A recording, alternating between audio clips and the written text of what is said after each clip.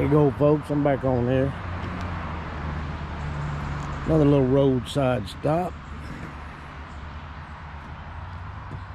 A little creek here. This one's not really running, but uh, cool little bridge walks over. Water's clear. Still pretty.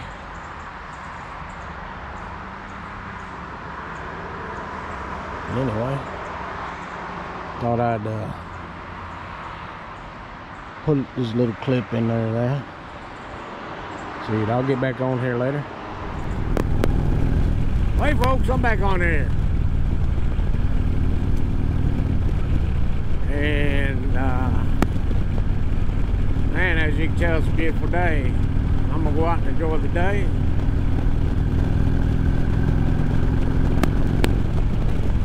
What am I gonna talk about? Well, I don't know. Uh,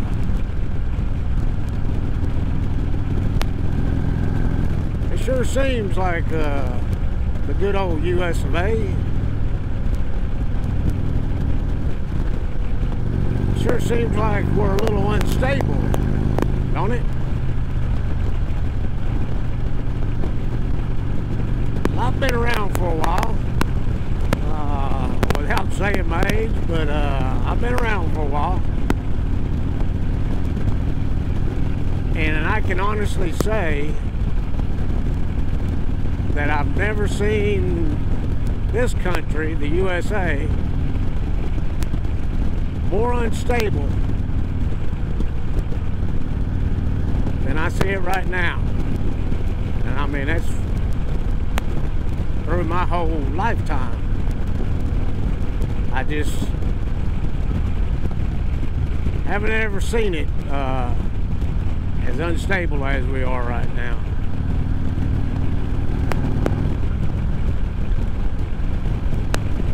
And I'm sure most of you know what I'm talking about. Uh, so many things going on worldwide. Course, the United States is involved in a lot of things.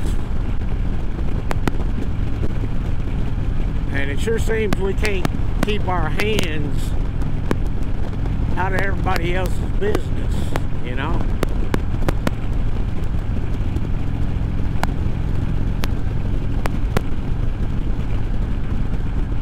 You go toward the, looking at the economy wise,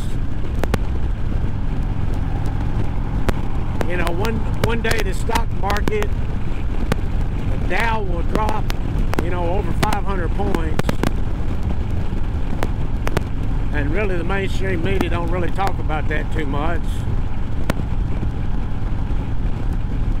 But then the very next day, it could shoot up and break record numbers.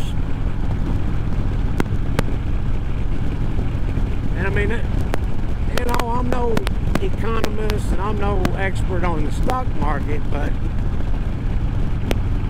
I just can't make no sense out of that. Uh, we know that inflation is out of control.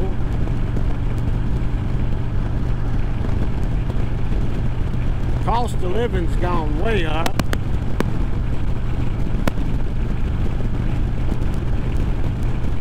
And the stock market can have record days where it shot up so high, you know, that it breaks records. Just don't make no sense. Housing market's gone outrageous. Most people, you know, and I'm talking probably younger folks, uh, but hardworking folks even afford to buy a house right now because of what's going on in the housing market.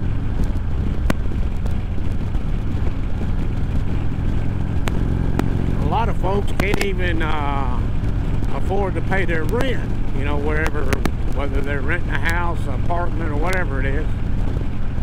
A lot of people are struggling being able to keep up with that.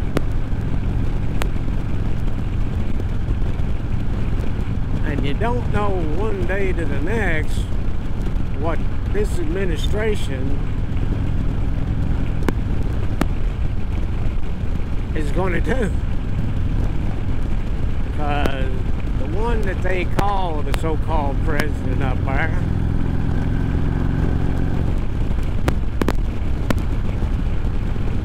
he can't even say a couple of sentences without uh, screwing that all up.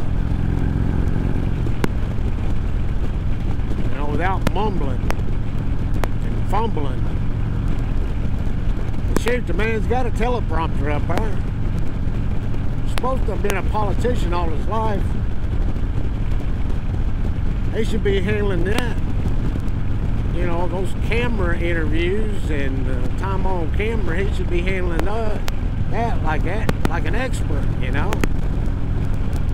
Shoot, he's been doing it for, what, going on 60 years?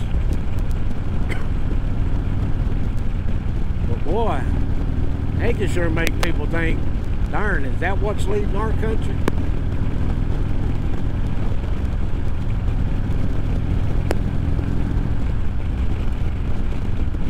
Well,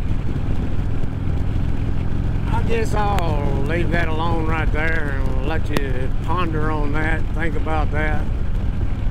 But I really do believe uh, we're in a time that uh, that we've never been in ever before.